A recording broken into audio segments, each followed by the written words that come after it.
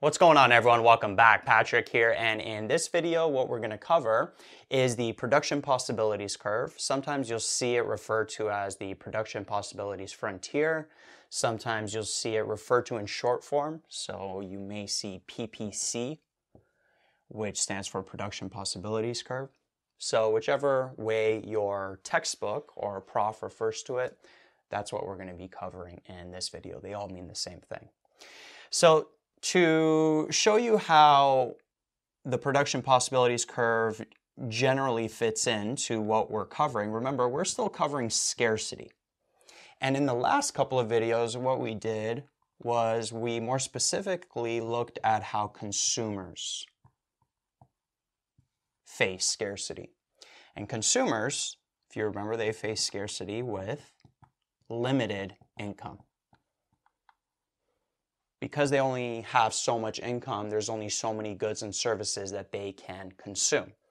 And we visually showed this limited income and the different trade offs that consumers face, the different opportunity costs through something called a budget line. It was a visual way to represent this scarcity here. Well, now what we're going to be doing is looking at the scarcity that producers face. If you remember, I've mentioned this, that producers face scarcity because they have limited resources. So there's only so many resources that they can use to produce goods and services. And this scarcity here, these trade offs that producers are going to face, the opportunity costs, are going to rep- be visually represented through this production possibilities curve. So there's going to be, it's going to be similar, a similar process with the budget line and the production possibilities curve, but there's going to be a few differences. One of the bigger differences is that notice how this is a budget line, while this here is going to be a production possibilities curve. So this is going to be a line, that's going to be a curve, and that's going to account for some differences relating to the opportunity costs and stuff like that. But we'll get into more detail on that as the video goes on. One thing I want to mention is sometimes when they're talking about a production possibilities curve, instead of referring to this group as producers, a lot of times you'll see this group referred to as society. And throughout the video, I'll mention how society in general fits with this concept. So to give a more specific definition for production possibilities curve, it's basically a visual representation of the combinations of two goods or services that can be produced with limited resources. And with the, uh, similar to the budget line, notice how it says two goods or services. And so there's actually going to be a general process to create this curve. First, you have to pick two goods or services to produce with your limited resources that maximize what do producers want to maximize? They want to maximize profit. So let's say that you own a clothing store, an online clothing uh, store. Let's say you have limited resources. There's actually four types of resources. We're going to cover that in a future video. There's land, labor, capital, and uh, entrepreneurship as well. Let's say that you have a certain amount of workers. So let's say you have a certain amount of labor. Now, what can you use this labor for? Well, maybe you want to produce some shoes, or maybe we'll produce some shirts. Maybe you could produce some pants for your store. And it doesn't even have to necessarily be a product that this labor is used for. You can maybe use this labor for marketing. Or maybe it could be used for sales, anything else, or uh, accounting, etc., etc right? So there's different things that this resource can be used for. Notice how it's actually, this list here is similar to the budget line where I had shoes, shirts, pants as well, but you're now on the other side. So with a budget line, you are consuming these things. Now you own the store and you're producing these things. So you've got to figure out how to allocate your resources to producing um, this stuff. And so the first step, pick two goods and services to produce that maximize profit. Let's say that you feel like this labor is going to be best used to right now produce shoes and shirts. Let's say that uh, you're in the early stages of creating this company, and so you want to actually make the product first. And as time goes on, this can change. So as time goes on, as you have more and more product, maybe you want to allocate more labor towards marketing or towards sales. That's going to maximize profit. So this can always change with time. It could also change depending on the type of store you're running. So let's say maybe you're running a drop shipping store. Drop shipping just means that you, once you receive an order, then you go to a producer and get the inventory. So maybe in that case, you wouldn't be spending your time here, you'd be spending more time on marketing and sales. So the type of store um, can affect where you allocate your resources. But for now, let's just say that shoes and shirts is the uh, best way to allocate this labor. Once you have those two goods and services, what you got to do is you have to find the combination of these two choices here that maximize profit. So you have to find some kind of optimal allocation. And later on in the course, we're going to get into more detail on how you find that optimal allocation, that optimal combination just as a heads up, it's going to be it's going to deal with uh, marginal benefits and marginal costs. Basically, when your marginal benefits equal your marginal costs.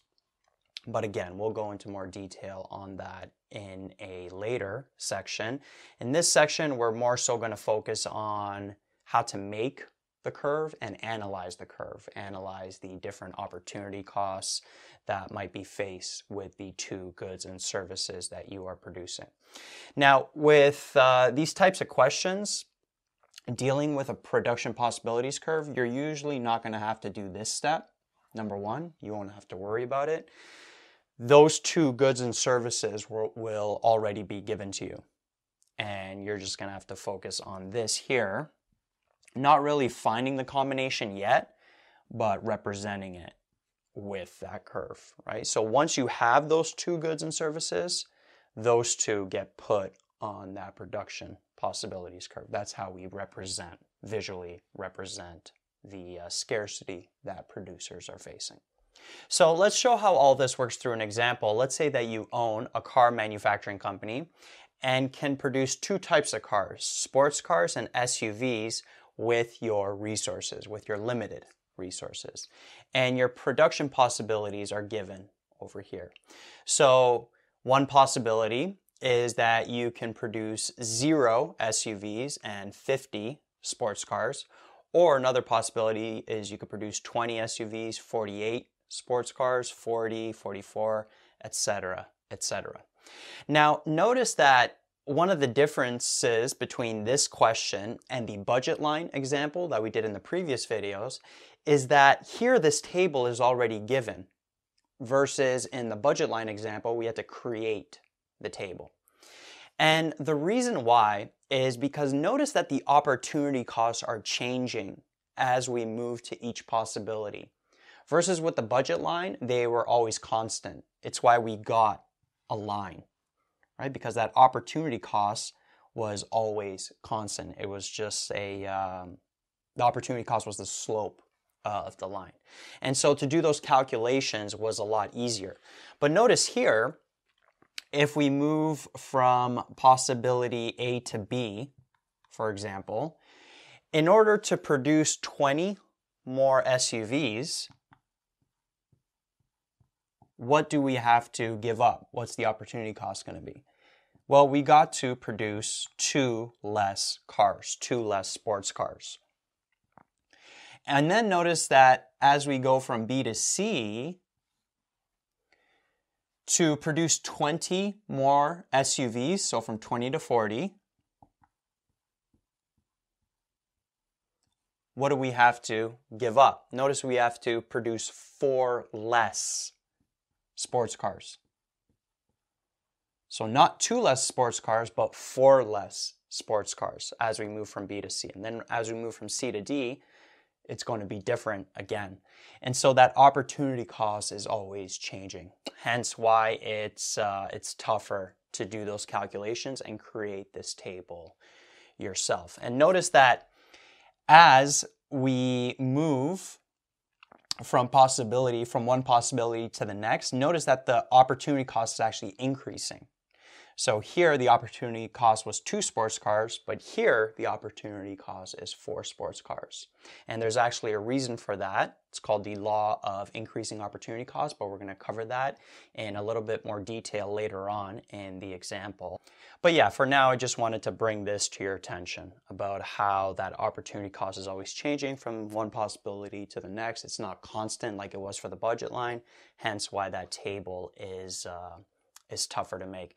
Now, it is actually possible to get more detailed information about a question like this and then make this table, but you'd have to have a lot more details on how that opportunity costs the relationship of that uh, increase in opportunity cost. So notice that here, from here to here, it's two. The difference is two. Here, it's four. And then over here, it's eight. There would have to be some kind of pattern here, and that pattern would have to be given to you. Kind of like in um, high school math, if you remember when you were finding like first differences, and if they were constant, it was a linear function. Second differences, if that was constant, it was a quadratic. So you'd have to be given that kind of detail, but again, we're not going to be covering that kind of detail in, uh, in this video. So in this section, in this chapter, you're going to be given this table when you're asked to make this production possibilities curve.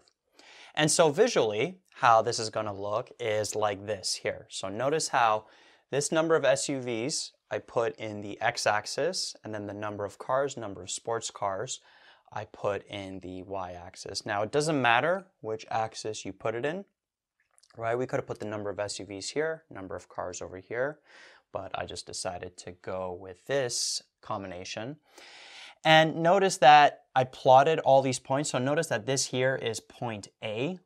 So this point represents zero SUVs being made and then 50 cars being made. And then this is point B. That is uh, 20 SUVs being made and 48 cars being made. This here is point C, point D, point E, and then down here is point F. Now notice that when we connect these, what's going to happen is it's going to make the shape of a curve. Notice that it's not going to be a line like it was when we did the budget line. It's a curve over here. It's always going to look like this. Even if you switch these up, if you put the number of cars here, number of SUVs up here, and plot it, it would still have this sort of shape. Now, with um, very similar to a budget line, this area inside the curve here is called the attainable area. And so what this means is that any combination here with your limited resources as a producer you can produce this combination. So you can produce, for example, 40 SUVs and 10 cars. Because if you're producing, if you're being fully efficient, if you're producing 40 SUVs, you're capable of producing 44 cars. So just by deductive logic, producing 10 cars while you're producing 40 SUVs is going to be attainable versus everything out here is unattainable. Now, as a producer, you want to be somewhere along this curve over here, one of these possibilities, because it then means that your resources are being fully used. They're being used most efficiently. If you're somewhere here, then you have some resources that are not being used, right? So you want to move yourself to be somewhere on this curve. And as I mentioned in future videos, what we're going to be doing is actually finding out which combination is the best. We're not going to be talking about that in this video, but there's going to be a way to find out which combination is the best, which combination is going to maximize the profit for the producer. It's going to be the optimal allocation. And again, it's going to be when your marginal benefits equal your marginal costs, but we'll get into more detail on that in a future video. One more thing I want to mention with this attainable versus unattainable area is sometimes you might be looking at a curve in different scales. So notice here that we are looking at your car manufacturing company. But I mentioned at the beginning of the video, sometimes instead of the word producer, you'll see textbooks refer to society when talking about this curve here. So you could look at it on different scales. So if we were looking at this from a society point of view, so a little bit more scaled out, and society has different resources. Let's say that one of the resources we're looking at is employment of all of society's members. Well, if we're looking at employment for society, and let's say that society is operating over here, right? So it's not operating most efficiently with all of its members.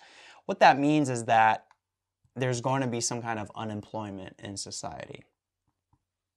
Not everyone is going to be employed.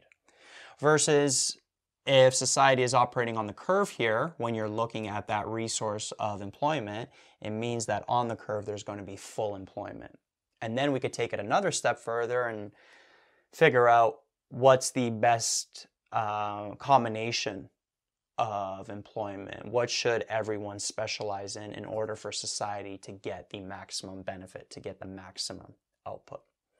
Okay, so this curve can be looked at on different scales. So thought I would mention that as well, and it's why sometimes you'll see society being referred to in uh, in textbooks when uh, when they're discussing the production possibilities curve. Another thing I want to mention is that this curve can be affected by different things, and we're going to cover that in uh, later on in this same video in this same example. Right, it could shift this way or it could shift outward very similar to how a budget line was affected with certain factors.